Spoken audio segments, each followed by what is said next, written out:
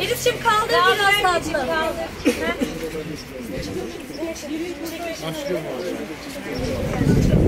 آمين أعوذ بالله من الشيطان الرجيم بسم الله الرحمن الرحيم اللهم يا مفتح الأبواب افتح خير الباب اللهم ارزقنا رزقا حلالا طيبا ورزقا واسعا وأنت خير الرازقين ya Rabbel Alemin ve ya hayren nasirin. Bugün burada merasimli düzenlediğimiz iş yeri ve iş yeri sahibi Ya Rabbi senin nimetini, rızkını temin etmek için bu iş yerini açmış bulunmakta.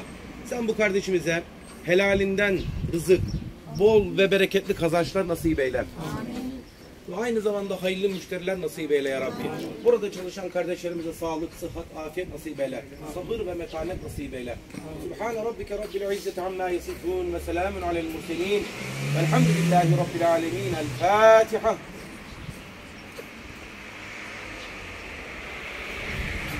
Yapsaydık.